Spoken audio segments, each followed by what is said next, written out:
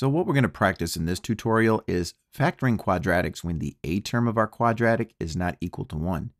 Now, a lot of times you're going to see quadratic equations that start with just x squared, but like with this example here, we have a coefficient other than 1 in front of the x, and sometimes those can trip up a lot of students. So what we're going to do is we're just going to practice how we can factor out these type of quadratics. And we're going to use something called the AC method. So basically, if we remember, the standard form of a quadratic equation is ax squared plus bx plus c. So this 9 right here is our a term, this 6 right here is our b term, and this constant right here of 1 is our c term. So to use the AC method, really all we're doing is we're starting with our a term and our c term, and we are multiplying them together. So let's start just by multiplying 9 times 1 and 9 times 1 is 9. Now, once you multiply the a and the c term together, what you have to do is you have to come up with two factors of that number that when multiplied will make that number, and also when you add those together would give us our b term. Well, we know that 3 times 3 is equal to 9. However, if we took 3 and added it to 3, that would equal 6, which is our b term. All right, so once we identify the two factors that would produce this number here and would have a sum of the b term, what you do is you go off to your original quadratic here and you rewrite the first term, which is just 9x squared. But then what you do is you take each one of these two terms, and we have two threes here, and they're both positive, so we write plus 3, and then just write an x after it automatically, and then write another positive 3x because both factors were 3. So because we have a positive 3 here and a positive 3 here, we write plus 3 here and plus 3 here and just write an x after each one. And then what we have to do is we bring down our last term here, which is just a 1. So basically we have to make sure that the two terms that we write, when we combine those terms, would add up to be this middle term right here. And 3x plus 3x is equivalent to 6x. All right. Now, once we get these four terms, what we have to do next is we have to break this into two separate parts. So we're going to take 9x squared plus 3x and consider that one part. And then we're going to take plus 3x plus 1 and consider that a second part. Now, after you separate what you have into two separate pieces, what you're going to do is you're going to factor something out of this part, and then you're going to factor something out of this part. So what you're going to do is you're going to take 9x squared and 3x squared and figure out what is the greatest common factor of each one of these terms here. Now, starting just with the coefficient of positive 9 and positive 3, we know that 3 is the largest factor divisible into these two numbers. So I'm just going to go ahead and write that number. But we have an x with each one of these terms. Here we have an x squared, and here we have just an x. Now that means x is common to both of these terms we could fit one x into here and one x into here.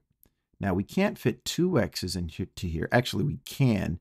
However, whatever we can fit into this term also has to fit into this term. And because we cannot fit two x's into here, we cannot take two x's out of here. Remember, it has to be common. So we can get a 3 out of each one of these, and we can get an x out of each one of these. All right, after you figure out what you can divide into each one of these terms, what you do is after writing what that common factor is, is you write parentheses, and then you have to take that common factor and divide it into each one of those terms. So we know that 3x goes into 9x squared 3x times, and here's why we know that. It is because if I were to take 3 times 3, that's 9, and if I took x times x, that is x to the second power. So as we factor, it's a good idea to multiply as we go to make sure it produces the number that we started with. All right, and of course, 3x can fit into 3x itself one time, so we're just going to write plus 1 here.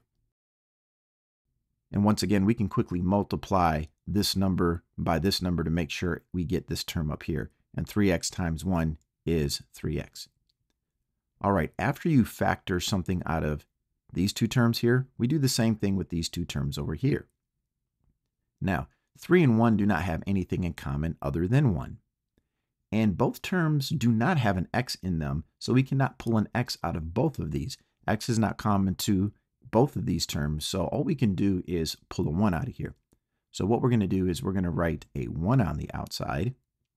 And then what we're going to do is we are going to write 3x here and plus 1.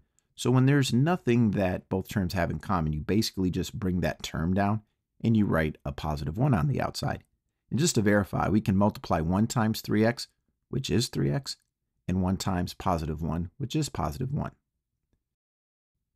All right, now when employing this method, there is something that we should notice, and that is whatever we get inside this set of parentheses, we should get the same thing in this set of parentheses. And if you got something different, that means that you must have factored wrong or something like that.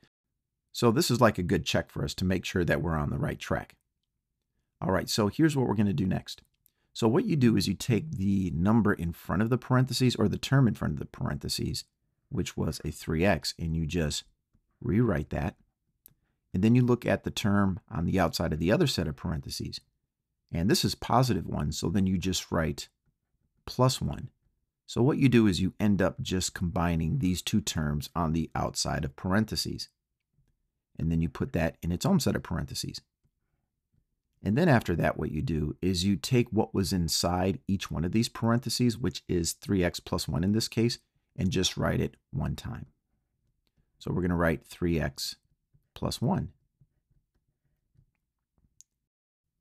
And these are the two factors that, when multiplied, would give us our original quadratic equation up here, 9x squared plus 6x plus 1. Now, just to verify, we're going to go ahead and multiply these together just to show that it does make this right here. So the first thing we have to do is multiply this first term by that first term. 3x times 3x is 9x to the second power. And then we can multiply this term by this term. 3x times positive 1 is positive 3x. And now we jump to the second term inside parentheses. 1 times 3x is positive 3x. And 1 times 1 is positive 1. And out of these four terms here, the middle two terms can be combined. So we can simplify this to be 9x plus 6x plus 1, which is in fact the quadratic that we started with. All right, let's go ahead and do another example. All right, the first thing that we want to do is take whatever our a value is and our c value is and multiply them together. So we have positive 12 and positive 3, which produces positive 36. And now we just have to come up with two factors of 36, which will also give us a sum of our b term, which is negative 12. Well, the two numbers that we know that can produce 36 and when added would make 12 would be 6 and 6. Now we know that 6 times 6 is 36. However, 6 plus 6 is not negative 12. We have to be mindful of this negative right here, or this minus sign. However, negative 6 times negative 6 is positive 36. And negative 6 plus negative 6 is equal to negative 12, which is the b term that we are looking for. So after we have figured this piece out, we go back to our quadratic. We take the first term in the equation and just rewrite it, which is 12x to the second power. And then what we do is we take each one of these factors, in this case, negative 6 and negative 6, and write those out in our equation. So negative 6 and negative 6. And then we just write an x after each one of those.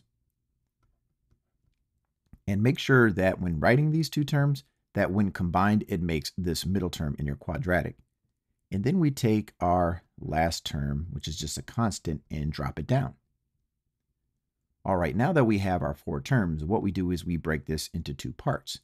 So we want to factor out this part of our equation and separately we want to factor out this part of our equation.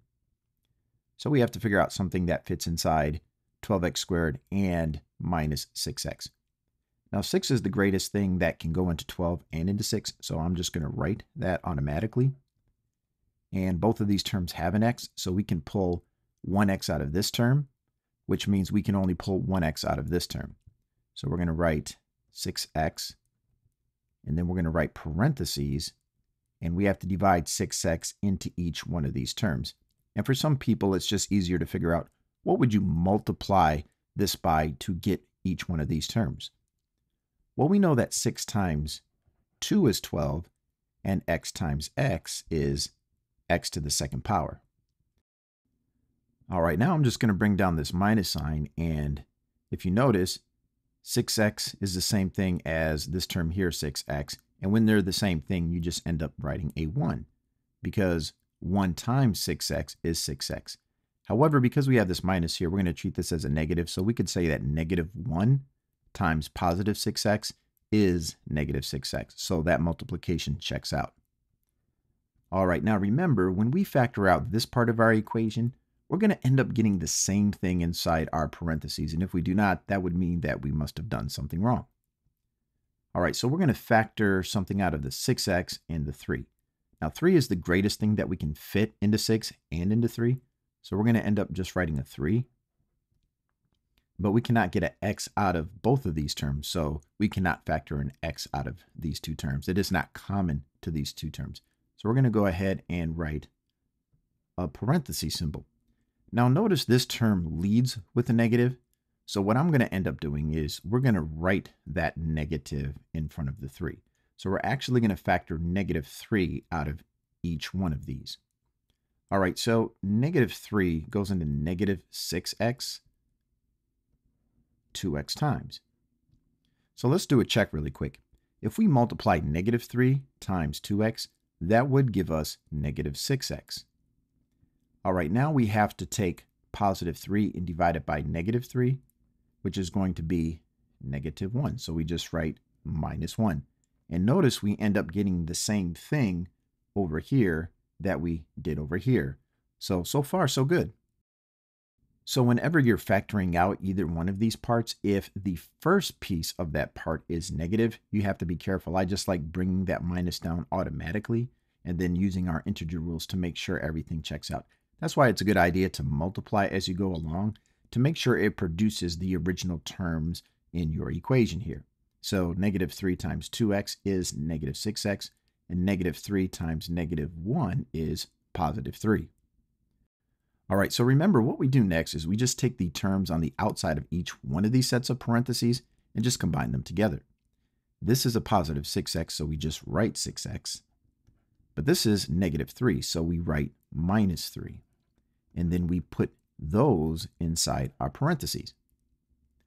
And remember, this here is going to be duplicated, but we just write it one time. So we're just going to write 2x minus 1 one time in its own set of parentheses. And these are the two factors that when we multiply would produce 12x squared minus 12x plus 3. All right, let's go ahead and do another example. All right, so let's take our A term and our C term, in this case 18 and 8, and multiply them together, and that would produce 144. So we have to come up with two factors that produce 144 and has a sum of our B term, which is 24. And 12 times 12 gives us 144. And 12 plus 12 has a sum of our b term, which is 24. So once again, we take our first term in our quadratic, 18x squared, and just bring that down. And then we take each one of these factors, which are each 12. And because they're positive, we write plus 12. But we have to stick an x after each one of those positive 12s. And then we bring down our last term in our quadratic, which is positive 8. All right, now we're going to factor out these two terms, and then we're going to factor out these two terms separately.